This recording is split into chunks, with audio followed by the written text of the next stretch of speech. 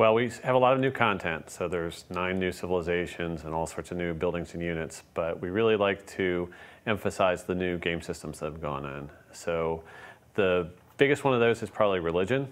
Right at the beginning of the game, civilizations can start to uh, worship a pantheon of gods, which gives them one new gameplay benefit.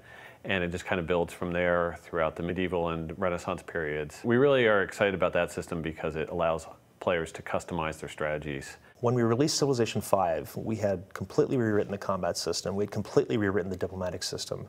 And to add the religion system, at least as it was, on, layered on top of that, we thought would be a little bit of overkill. So when Ed really attacked us, and he really wanted to accomplish something that fit with Civ 5, he really dug down deep and came up with something that we think is really, really cool. If I want this to be a game that I can play over and over again, and I don't want to have you know, the same choices uh, presented to me without a lot of variation. So I like that kind of customization.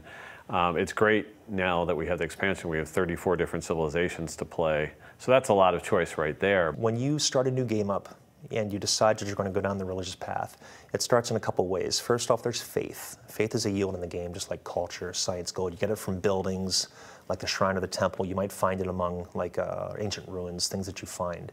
Once you just get up to that little bit of amount, you get to found a pantheon of the gods. It just happens. The clock starts ticking away towards getting a religion. You have to build up a lot of faith for that. And you choose one belief as your people's brush with religion.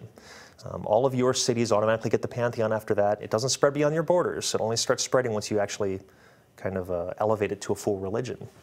How you get there is with a great prophet you have a chance to spawn him every turn. But eventually you will get him, and when you do, you can actually use him to found a religion. After you've established your first religion, if you manage to keep building up faith, you can have your great prophet do a holy site, which is going to generate faith, kind of like a landmark will for your great artists. Oh, there's one other thing too.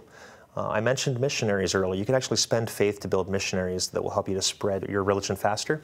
You can also use an extra great prophet for that. If you have a great prophet later, they can actually spread religion three times. They can go up to three different cities, boom, boom, boom, before they're expended, and really do a big job of, uh, of, spreading your religion. Well, I like how espionage lets you sort of get a look inside the other civilizations. That system goes in and starts checking in with what the AI is thinking about for those other civilizations. And if your spies have been there long enough and are of high enough rank, you start to get little tidbits of information about what they might be planning. They can also rig elections. So every 12 turns, what they do if they're unopposed, if there's no other enemy spies in those city-states, is they'll increase your influence a little bit and drop everybody else's a little bit. So it's like a, little, a slow drip of water. If you're impatient, you can do what's called a coup. Now, if it's successful, you'll completely take over the allied spot. The person who was there before will take over wherever you were before, so it happens instantly. And if you're not successful, your spy's executed. You lose all your influence.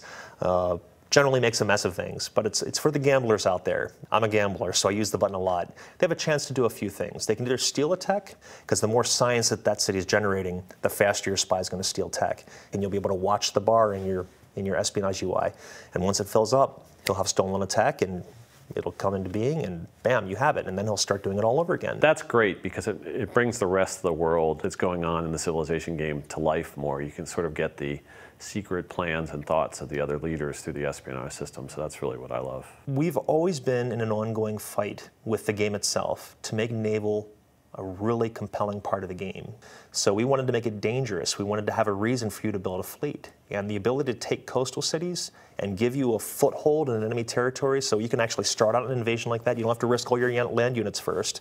Now you have your naval units. You take that enemy city.